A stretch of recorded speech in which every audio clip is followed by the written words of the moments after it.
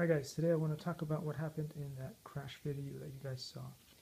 So what you didn't see was in the previous flight, I was um, you you usually start flying this way with the um, with the props pointing upwards, and so it'd come up, and then um, in midair, I flipped the switch so that it would go this way. So then I was flying it as a plane.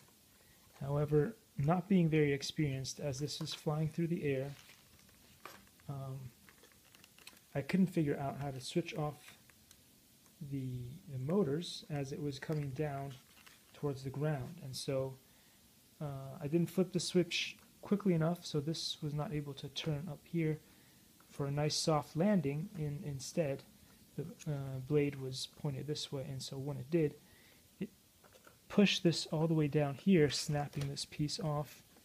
You can see right there. And then since this one did not turn off either, it lost its um, blade.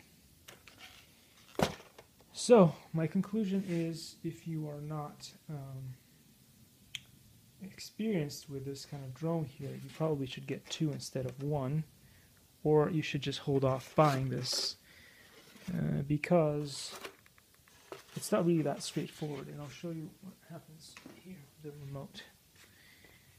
So you have these three modes, and so while you're flying and you, you flip the switch into the plane mode, where the rotor is going like this, then right before crash landing you should switch it immediately so that it will stop this from braking, but it's it's hard to remember to do because especially if you're used to flying um, planes or remote control cars or even drones, you don't really think about that, and so you got to practice that a lot before you actually fly this thing.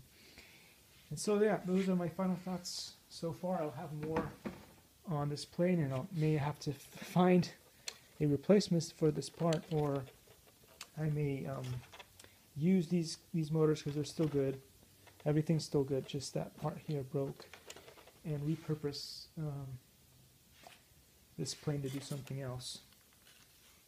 So yeah, thanks for watching, and I'll see you soon.